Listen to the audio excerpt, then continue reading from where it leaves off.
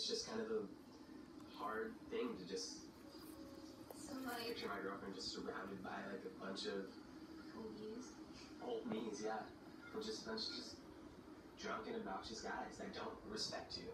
In that in that environment, like they're not looking at you in terms of respecting you, and I think that you're someone that deserves to be respected all the time. And the, the environment was uh, what